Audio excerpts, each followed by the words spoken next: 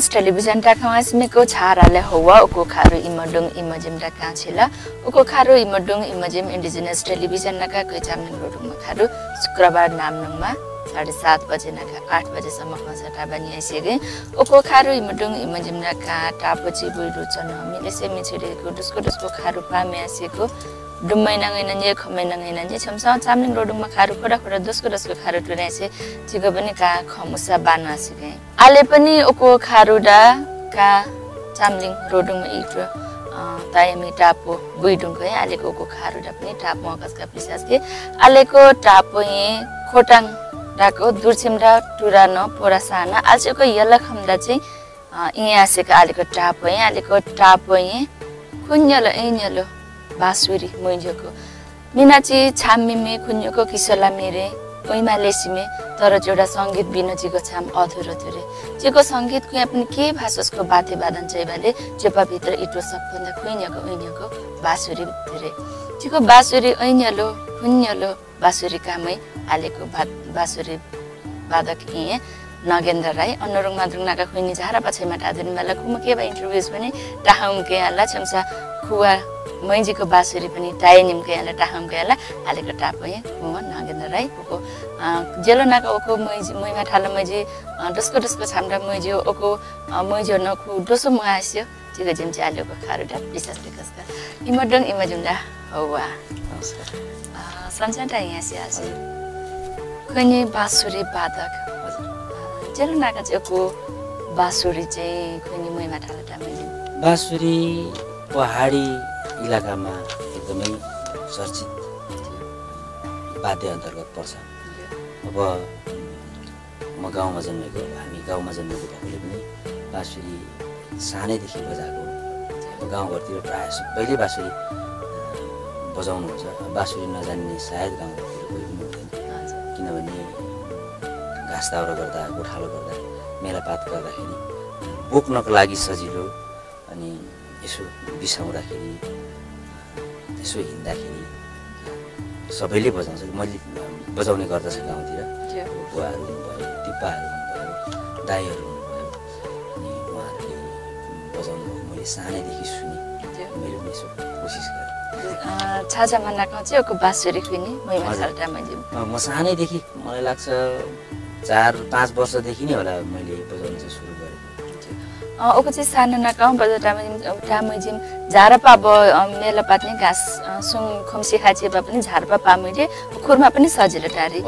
अनि खुनी चाहिँ ठ्याक्कै मैसा मैसा आल्से बाँसुरी बाधकमा रात्रि व्यावसायिक रूपमा बाँसुरी। टामेजी हाँसिमे हजुर। ओको डुसुम्चा चाहिँ ओको व्यावसायिक रह खाटे।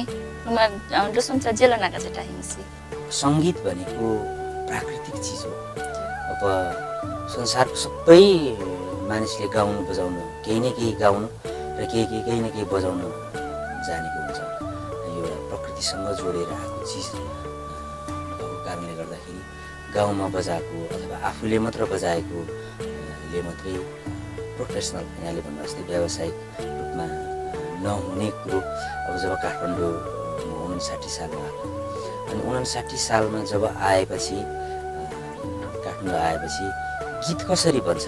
अथवा सङ्गीत कसरी बन्छ? अथवा सङ्गीत कसरी सिक्नुपर्छ? कसरी प्र्याक्टिस गर्नुपर्छ? कसरी राम्रो बजाउन सकिन्छ राम्रो गाउन सकिन्छ? भन्ने कुरो चाहिँ काठमाडौँ आएपछि मेरो नाना सुशीला राई रेडियो नेपाल जानुहुन्थ्यो। अनि उहाँबाट धेरै कुराहरू मैले सिक्ने अवसर पाएँ र जान्ने म्युजिक सिक्नुपर्ने रहेछ सङ्गीत सिक्नुपर्ने कुरा रहेछ आफूभन्दा जान्ने मान्छेसँग सङ्गत गर्नुपर्ने रहेछ भन्ने कुरो जब मेरो दिमागमा आयो त्यसपछि मैले सिक्न थालेँ। अनि अनि चाहिँ यो अब मैले यस्तै बन्छु प्रोफेसनल्लै बन्छु व्यावसायिक रूपमै बजाउँछु होला भन्ने चाहिँ मलाई त्यति थिएन। अब रहर चाहिँ थियो अनि त्यो भएकोले अब यहाँसम्म अहिले सिक्दै बजाउँदै गरिरहेको छु। नानालाई खसा खसा चाहिँ कहाँ चुइडो चुङटारी अनि ओको बाँसुरी खुनी जेम पर्छ टाचे जे चाहिँ अब हुन त कुनै पनि चिजको सिकेर सकिँदैन यो। अत्यन्तै जति सिक्यो त्यति नै गहिरो चिज रहेछ सङ्गीत भनेको। अब दिदी चाहिँ गाउनुहुन्छ उहाँले हार्मोनियम लिएर सरगमहरू गाउनुहुन्थ्यो। रागहरू गाउनुहुन्थ्यो।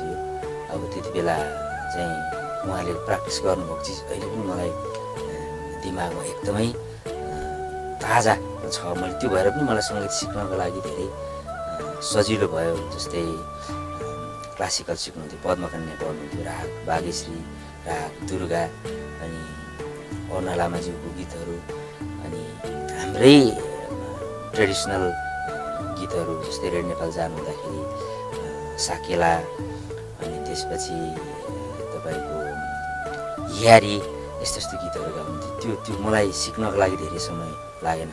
फेरि पनि यहाँको क्वेसन अघि कति वर्ष भन्नुभयो। मैले यो चाहिँ जोड्न खोजेको कुरा चाहिँ सिकेर कहिले पनि सकिँदैन रहेछ। मैले सिक्न थालेको चाहिँ साठी सालदेखि सिक्न थालेको मेरो गुरु सुशील विश्वकर्माजी हुनुहुन्छ पहिलो। त्यसपछि जीवन हाले ज्यूसँग मैले आठ वर्षको कोर्स गरेँ। सुशील विश्वकर्माज्यूसँग दुई वर्ष मैले सिकेँ पछि तबला के अरे अहिले बित्नुभयो रविनलाल श्रेष्ठज्यूसँग सिकेँ। अनि अहिले पनि म सिक्दैछु गुरुहरूसँग गइरहेको छु। अब लगभग तपाईँको सोह्र वर्ष कम्प्लिट भयो। म सिक्दै नै छु। ताचु ज्यासी टामु ज्यासी। बाँसुरी। अनि उको अब विधा उको बाँसुरीमा पनि अरू मामसोसको विधा पनि टोरिहाल्ला डस्को डस्को विधा? जस्तै यो अब सङ्गीतको मुख्य रूपमा गायन नै हुन्छ। गाउनु नै मुख्य यसको आधार चाहिँ गायन नै हो गाउनु नै हो। हामीले बाँसुरीको चाहिँ एउटा माध्यम मात्रै हुन चाहिँ सबै बाजाको आफ्नै प्रकृति हुन्छ। बाँसुरीको आफ्नै प्रकृति हुन्छ सनैको आफ्नै प्रकृति हुन्छ मादलको आफ्नै आफ्नै आफ्नै प्रकृति हुन्छ। अब जस्तै फुक्ने चिजको एउटा पाटो हुन्छ भने तपाईँको बजाउने चिजको के अरे ताल बाध्यको अर अर्को प्रकृति हुन्छ। अनि तपाईँको जस्तै गायनलाई नै हामीले विशेष गरेर पछ्याउने हो बाँसुरीमा। तर यसको केही तपाईँको विशेषताहरू छ जस्तै गायनको सबै चिज वादनमा गर्न सकिँदैन। अथवा गायनकोलाई फलो गरेर कसैले सितार बजाउनुहुन्छ भने गायन जस्तै नहुन सक्छ अथवा सितार गायन जस्तै नहुन सक्छ। अ, हामीले मेन चाहिँ मुख्य चाहिँ गायनलाई नै फलो गर्ने हो। यसको सङ्गीतको मूल विधा नै गायन भन्छौँ। छाम डोसकै छेउसाउ चाहिँ। हजुर हजुर। बाँसुरी चाहिँ मै मात्रै अब बाँसुरी सोसको छाम पात्र छाम डोसको छामी चिसको चाहिँ जस्तै के हुन्छ भने गायनमा शब्द हुन्छ। सबैभन्दा पहिलो कुरो शब्द अनुसार अब शब्द भन्नु साथै हामी एक प्रकारले साहित्यतिर पनि जानुपर्छ। अनि त्यो भएकोले तपाईँको गाउनको लागि गाउने चिजहरू धेरै चर्चित हुन्छन्। गाउनेको स्वरहरू फरक फरक हुन्छ। बाँसुरीको पनि स्वरहरू चाहिँ फरक फरक हुन्छ। तर मान्छेहरूले प्राय गरेर त्यति छुट्याउन सक्दैन। आफूले बजाएको चाहिँ आफूले छुट्याउन सक्दैन। अब जस्तै म तपाईँलाई सानो एउटा बजाउन चाहन्छु। अब गायनमा गायनको चिजलाई नै मुख्यतया फलो गर्ने। अब सारे ग म पद निसा अ, सारे ग म पद निसा भनेर गाउनुहुन्छ भने बाँसुरीमा चाहिँ यसरी बजाइन्छ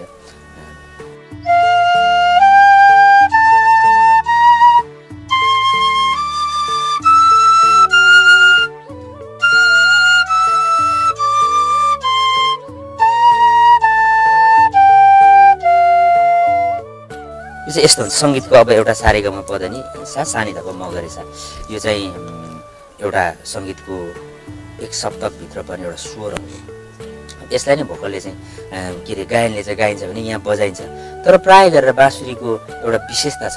बाँसुरी भन्नुसाथ मान्छेले लोकवाद्य अनि त्यसपछि मिठो धुन भन्ने जनमानसमा एक प्रकारले त्यो छाप छ। अब जस्तै बाँसुरीको हामी एउटा धुन म बजाउँछु।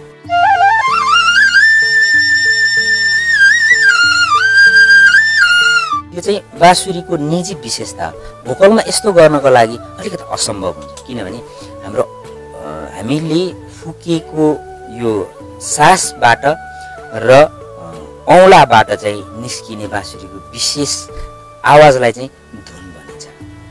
अनि त्यो धुन चाहिँ गीतमा के अरे गायनमा भोकलमा निकाल्नको लागि त्यो अलिकति असम्भव हुन्छ। भने अब त्यो त्यति राम्रो पनि सायद सुनिँदैन होला। किनभने यो बाजाको चाहिँ विशेष गरेर विशेषता मानौँ। अब तपाईँले फेरि म एउटा बजाउन गइरहेको छु यो पनि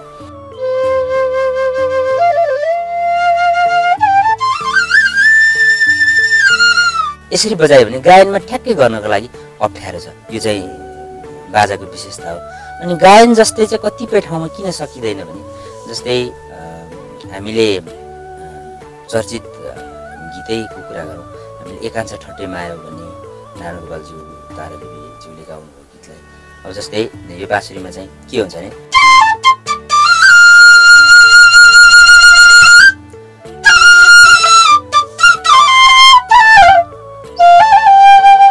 कहाँ नोट काटिन्छ भने चाहिँ तर भोकलमा चाहिँ ए भनेर गरिन्छ। तर यहाँ चाहिँ त्यो नोट ठ्याक्कै बाँसुरीमा निस्कँदैन। डाइरेक्ट पर्छ।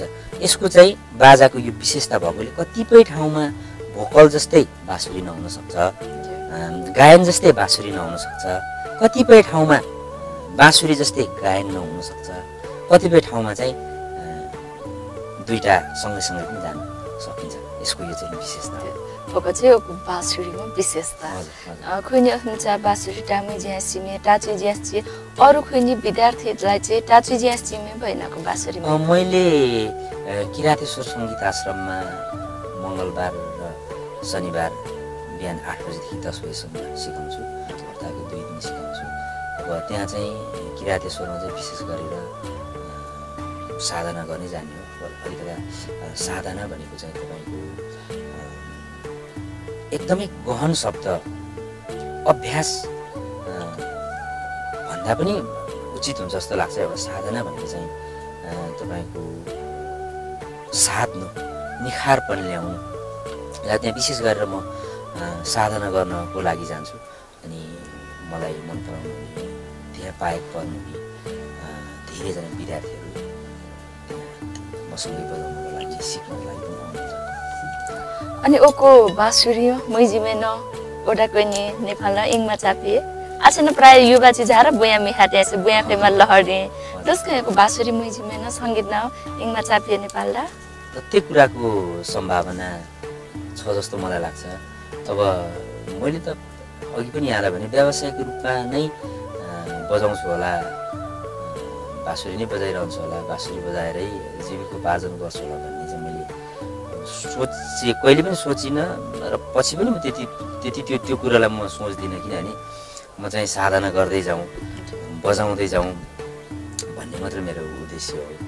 अनि मैले तपाईँले भन्नुभएको प्रश्नअनुसार चाहिँ यसो हेर्दाखेरि सम्भावना धेरै छ।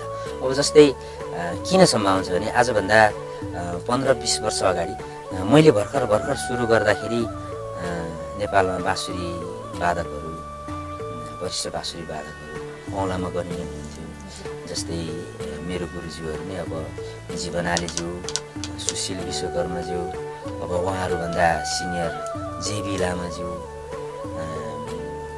प्रेम राणा अवतारीज्यू एकदमै एकदमै थोरै हुनुहुन्थ्यो। तर अहिलेको हाम्रो जेनेरेसनमा बाँसुरी वादकहरू पाँच सयभन्दा बढी प्रोफेसनल रूपमा बजाइरहनु भएको छ।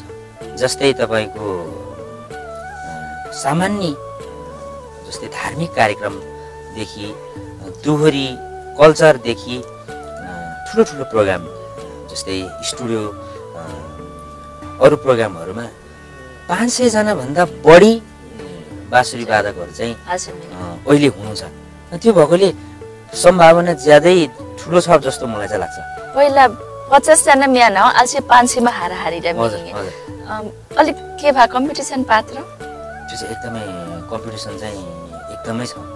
त्यो कुराले चाहिँ हाम्रो नेपाली म्युजिकमा राम्रो म्युजिक निस्किने एउटा अवसर पनि हो। जस्तै एकजना कुद्दाखेरि दौडिँदाखेरि सधैँ फर्स्ट हुनु र पाँच सयजनामा कुद्नुमा त तपाईँको त्योभित्र मान्छेले केही न केही सोचेर केही न केही सोचेर केही न केही सिकेर आएको भएकोले सङ्गीतलाई अझै राम्रो सङ्गीत त्यहाँ निर्माण हुन्छ नि। जेम्न के सङ्गीत बाँसुरी नागा। हजुर बाँसुरीमा नभएर नेपाली सङ्गीतकै सङ्गीत। कुरा गरौँ। जेम्न के चाहिँ जेम्न कम्पिटिसन खुइन्योको सङ्गीत छाम्ची। लैमा चापो हजुर, मजी खुइनी चाहिँ हाल्छ एकदम अनि उको सङ्गीत उको बाँसुरीमा जिम्मा जिम्मा पिछेका जिम यानी खै मास खाल्या ओइटा न अब ओइटा न आल्से झारा लाउर खाचे न हो लाउरे त्रिए न हो के भा खाबा टाचे इनु पनि के भावा पाछैले मेङ्जे खुइन चाहिँ कहिले लाउरे खैमा अथवा बुया खैमा केसका पालिन त्यस्तो सोच त त्यति पहिलेदेखि नै आएन। अब मान्छेलाई हुन त कति पैसाले पुग्छ होला त्यतापट्टि चाहिँ मेरो अहिले पनि अब विशेष गरेर धेरै पैसा कमाउनुपर्छ धेरै पैसा जमाउनुपर्छ भन्ने चाहिँ लाग्दैन र सङ्गीतमा लागेर धेरै पैसा पनि हुँदैन किनभने यो यो एउटा व्यावसायिक चिज मात्र होइन। सङ्गीतले तपाईँको व्यवसाय गरेर अथवा मनोरञ्जन मात्रै सङ्गीतको कुनै पनि विधाले मात्रै मनोरञ्जन अथवा व्यवसाय व्यावसायिकतातिर मात्रै यसको ध्यान हुन्छ जस्तो मलाई लाग्दैन। सङ्गीत भनेको अब जस्तै हाम्रो इन्डिजिनियस टेलिभिजनप्रति म एकदमै आभारी पनि छु। भाषा साहित्य संस्कार सङ्गीतसँग जोडिएको छ। हाम्रो बाँसुरीसँग हाम्रो संस्कार जोडिएको छ। जस्तै साकेला हाम्रो हाम्रै राईहरूको साकेला भनौँ लिम्बूहरूको च्याब्रुङ भनौँ आफ्नो नेवारी नेवारहरूको नेवारी गीतहरू त्यो पनि सङ्गीतमा जोडिएको छ। त्यही त्यो भएकोले पनि पैसा सबै थोक हो पनि होइन। त्यो भएर मलाई त्यसको कहिले त्यतातिर मलाई त्यति जान ऊ पनि भएन। पैसै कमाउँ धेरै पैसा कमाउँ भन्ने चाहिँ मलाई त्यति आएन। जस्तै भाषा संस्कार होसुङ रिलुङ इमा लामा जिमटामुङ इमा साके लाडाउको बाँसुरी जोडी बाल्या सिके दिम्बुमा छ्याब्रुङडा तारी कुनै उसको इमा रोडुङमा छाम्ने। उको बाँसुरीमा सङ्गीत टापाको मेरो जम्मा अब अहिले चाहिँ पाँचौँ एल्बमको म तयारीमा छु। अनि तपाईँको मेरो मेन उद्देश्य चाहिँ हाम्रो म्युजिकलाई हाम्रो सङ्गीतलाई नै माथि लाने बाँसुरीको माध्यमबाट। अलिकति गाह्रो चाहिँ गाह्रो छ किनभने अघि भने गायनमा शब्द हुन्छ। शब्द मान्छेले सजिलै बुझ्न सक्दछ अनि स्वर मान्छेले सजिलै चिन्न सक्दछ। तर बाँसुरी चाहिँ पहिले एउटै बजाएको हो कि भनेको जस्तो लाग्छ। तर मैले पनि मेरो बाँसुरी वादनमा हाम्रो मौलिकता हुनुपर्छ। हाम्रो नेपालीपन हुनुपर्छ। तपाईँको हाम्रो चिजहरू चाहिँ संसार सामु पुर्याउनु पर्छ भन्ने मेरो मेन उद्देश्य भएकोले मेरो पाँचौँ एल्बम। यसमा पनि अरू चिजहरू पनि छन् तर हाम्रो नेपालीपन हाम्रो किराँत राई अ, को जस्तो म्युजिकहरू धेरै गरेको छु। अब पहिलो एल्बम मैले र पहिलो र तेस्रो चाहिँ शास्त्रीय निकालेको थिएँ। अनि त्यसपछि हाम्रो आम्लाबुङ भन्ने दोस्रो आम्लाबुङ भन्नेमा साकेला छ हियारी छ अनि तपाईँको चौथो लिबुलुङ भन्ने एल्बममा पनि। के अरे सयपत्री भन्ने बाँसुरीकै धुनहरू निकालेको छु। अब अहिले यसपालिको एल्बम पनि तपाईँको पहिलोचोटि मैले फैटुङ भन्ने एल्बम मैले निकालिरहेको छु यहाँ पनि हाम्रो म्युजिकसँग कतै न कतै जोडिएको छ खुइमा एल्बम टारेसिङ चोडा पनि बाँसुरी टापाकुम्के अन्य अब इला नाका इलामा छाम्ने पनि टापाकुम्के लिङ्ला छाम्ने। पनि झारा टापाकुम्के। बाँसुरी सर डोस्को चाहिँ छाम्दा चाहिँ बाँसुरी मुइमा चाहिँ सजिलो अब एक हिसाबले लोक जनजीवनमै जन्मेको कारणले गर्दाखेरि हाम्रो लोकगीत मस्तिष्कमा मनमुटुमै छ। त्यो त अत्यन्त सजिलो पनि भइहाल्यो। अब अहिले चाहिँ बजाएकै दस पन्ध्र वर्ष भएको कारणले गर्दाखेरि प्रायः मलाई सबै म्युजिक उस्तै लाग्छ। बजाउनको लागि अब सजिलो गाह्रो भन्दा पनि सबै म्युजिक बजा बजाउँदाखेरि आनन्दै लाग्छ। अब विशेष गरेर मेरो विधा मेरो चोइस चाहिँ अब शास्त्रीय सङ्गीत पनि हो। लोक सङ्गीत बाहेक। अनि मलाई चाहिँ नेपाल नेपाली चलचित्र क्षेत्रमा पनि बोलाउनुहुन्छ चलचित्रको व्याकरण बोलाउनु बोलाउनुहुन्छ भाषाभाषी पनि बोलाउनुहुन्छ मैले केही हिन्दी गीतहरू पनि बजाएको छु। अनि चाइनिजहरू थुप्रो बजाएको छु। अनि म जे होस् अब गायनमा भन्दा वादन बाँसुरी वादनमा एउटा चिज के सजिलो हुन्छ भने जस्तै गायनमा शब्द भए तापनि एकजना मान्छेले सबै प्रकारको गीत न बजाउन निस्कन सक्दैन। विभिन्न कारणले गर्दाखेरि। भोकललाई कस्तो सुट हुन्छ भन्ने कुरो पनि जान्छ। तर बाँसुरीको चाहिँ हामीले जस्तै त्यो फिल अनुसारको हामीले निकाल्न सक्छौँ। त्यो भएकोले प्रायः मलाई सबै बजाउँदाखेरि आनन्द अ, जस्तै अब ओको बाँसुरी मुइमा नै इछु र इसोला हजुर। इसो इसोमा र इछुमा तालुवा बाँसुरी मुइजिमे अब कति चाहिँ अब मुइमा किच खाल्यो न पनि डोसुम छ मुइमा पालेसु पालेसु आँस होला। न सजिलो। अब डान्सिन डुमे डान्सिन ओको खारु पाहे आसेको दर्शकलाई अब के हुन्छ भने फेरि पनि म दोहोऱ्या सङ्गीत भनेको अँ, सङ्गत रहेछ आफूभन्दा जान्ने मान्छेहरूसँग बसेपछि सङ्गीतको साधना गर्दै जाने चिज रहेछ यो एकदमै छिटो सङ्गीतको सर्टकट छिटो छिटो जाने। अब ठ्याक्कै भनौँ न सर्टकट वे चाहिँ छैन। अब यो चाहिँ विशेष गरेर दस साधना वर्ष मुसा। सङ्गीतको लागि केही पनि होइन। भन्ने कुरो अहिले चाहिँ मलाई फिल हुन्छ। अब तपाईँको सङ्गत आफूभन्दा जान्ने मान्छेसँग सङ्गत गर्दै गएपछि मात्रै सही सङ्गत गरेपछि सही चिजहरू जे होस् बजाउन। गाउन सकिने रहेछ। अब त्यो चाहिँ अब आफूभन्दा जान्ने मान्छे गुरुहरूप्रति मैले मेरो मैले भन्न खोजेको चाहिँ गुरुहरूप्रति चाहिँ आफूभन्दा जान्ने मान्छे भन्नु साथै गुरुहरूलाई मैले सम्झेको अनि तपाईँको यो बाँसुरी यसरी नै जानिन्छ यसरी नै छिटो सिकिन्छ भन्ने एकै शब्दमा भन्नको लागि चाहिँ गाह्रो छ। अब विशेष गरेर नयाँ बाँसुरी बजाउनु बजाउनु चाहनुको लागि अब अहिले त विभिन्न युट्युबहरूमा पनि हामी हेर्न सक्छौँ। तर त्यो धेरै युट्युबमा चाहिँ धेरै चिजहरू इफेक्टिभ हुँदैन। के कारणले भने त्यो चाहिँ युट्युब भनेको एउटा व्यावसायिक कुरा हो। सङ्गीतमा केही जानकारी चाहिँ छ। तर सबै चिजहरू त्यहाँ भन्दाखेरि डिटेलमा भन्दाखेरि त्यो एकदमै झ्याउ लाग्दो पनि हुन्छ। अब दस वर्षमा गर्ने चिज हामीले एक घन्टामा कसरी गर्न सक्छौँ?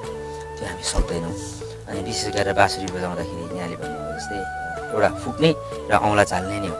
तर सही तरिकाले फुक्नु पऱ्यो सही तरिकाले औँला चाल्नु पऱ्यो अनि यसको प्र्याक्टिस निरन्तर हुनु पऱ्यो अनि मात्रै राम्रो बज्दो रहेछ। चान्याको इन्याको जिम्मा साचीको खारुमा डुङ पनि रुममा राखेँ। अन्त्यटा जो अल्छेको युवाजी चाहिँ बुयामी हाटे इमा इला प्लिसिएन जे पनि पाचेको मेना खोइपा मलाई इङ्ग्लिस जापानिज कोरियन। चुइजी चिएन चाहिँ खाबा ट्रेमा चापुमा मिरेको चिलाई चाहिँ दसो टाल्जी अब म पनि काठमाडौँ आएको सोह्र सत्र वर्ष भयो। चामलिङ। म अलिअलि बुझ्छु फर्काउन धेरै आउँदैन। त्यो भएर मैले नेपालीबाट यहाँ प्रश्न अत्यन्तै सोचनीय छ। किनभने सबै मान्छे विदेश गएर पैसै कमाएर म आएर राम्रो गर्छु भन्ने चाहिँ मेरो विचारमा किन नसोच्दा हुन्छ आफ्नो उमेर र आफ्नो तागत भइन्जाल अरूलाई दिएपछि फर्किँदाखेरि चाहिँ एक प्रकारले खोक्रो दिमाग मात्र नहुने त्यसले खासै देशको लागि उन्नति प्रगति दिगो रूपमा नहोला जस्तो लाग्छ। अब मैले बाँसुरी बजाएर बजाएर अघि बढिरहेको छु भने सबैले बाँसुरी बजाउनुपर्छ भन्ने चाहिँ छैन अब यो प्रश्न अत्यन्तै गहन पनि छ। अब एक हिसाबले विदेशमा तपाईँको कमाएको पैसा अब सबै सबैलाई थाहा छ। तपाईँको यहाँ ल्याएर सार्दाखेरि धेरै हुने त हो नि। त्यहाँको लागि त त्यो केही पनि जस्तो मलाई चाहिँ लाग्छ है। अनि हाम्रो भाषाहरूलाई अत्यन्तै जोगाउन आवश्यक छ। फेरि पनि इन्डिजिनियस टेलिभिजनप्रति अत्यन्तै आभारी छु एकदमै राम्रो बोलाउनु भएकोमा हाम्रो भाषालाई बचाउनुपर्छ भन्ने थाहा हुँदै हुँदै पनि मलाई एक प्रकारले ठुलो झड्का यहाँले मलाई लगाइदिनु भएको छ। म अर्को इन्टरभ्यूमा इलाबाट म दिने म थोर बहुत कोसिस गर्छु। विदेश जानुहुनेहरूलाई पनि हाम्रो भाषा नजानु भन्दा पनि अब यहाँ बस्ने धेरै सम्भावना नहुँदाखेरि र अब केही न केही त गर्नुपर्छ। हाम्रो भाषालाई जोगाउनु अत्यन्तै आवश्यक छ। म चान्याको यहाँको जिम्मा साजिकाको खारुमा डुङ रुमान्द्राके फिल्म ओको याला खेम्डा व्यस्त डुङ्डा पनि ठा भने केवा केवा अप्छा रुङसा ओको खारु पाहायासेको दर्शक चाहिँ इरुङ ओको चान्याको धुन यान मैलान्छन् हस् धन्यवाद। मैले आम्लाबुङ भन्ने एल्बम निकालेको थिएँ। यो एल्बमको विमोचन चाहिँ विश्व प्रसिद्ध बाँसुरी वादक पद्म विभूषण पण्डित हरिप्रसाद चौरसाजी नेपाल आउनुहुँदा उहाँले यो एल्बमलाई विमोचन गरिदिनु भयो गरिदिनु भयो अत्यन्तै भाग्यमानी पनि आफूलाई त्यति बेला मैले सम्झेको थिएँ कि उहाँ जस्तो विश्व प्रसिद्ध बाँसुरी वादकको हातबाट मैले आम्लापुङ र साधना टु एल्बम विमोचन गरिदिनु भएको थियो त्यहाँ चाहिँ एउटा बाँसुरी भन्ने ट्र्याक छ त्यो चाहिँ हाम्रो पूर्वेली धुनसँग आधारित छ यसको यो यसको यो धुन यो ट्युन चाहिँ वरिष्ठ गायक जितेन्द्र राईज्यूले कम्पोज गर्नुभएको। म यहाँसँग बजाउन चाहन्छु यहाँले धेरै यो एक प्रकारले धेरै बाँसुरी बजाउनेहरूको पूर्व साइडमा एकदमै चर्चित पनि छ।